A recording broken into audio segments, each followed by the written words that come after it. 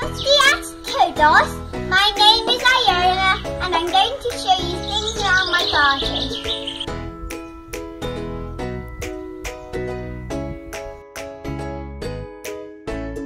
Our birds, they are red and green.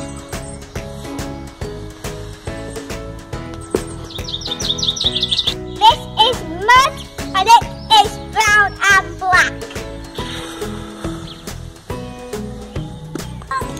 are tires. They are blue and yellow. We're using them as flower pots. This is hay and it is golden and animals eat and sleep in it. They are brown. We burn them on the fire and this is an axe.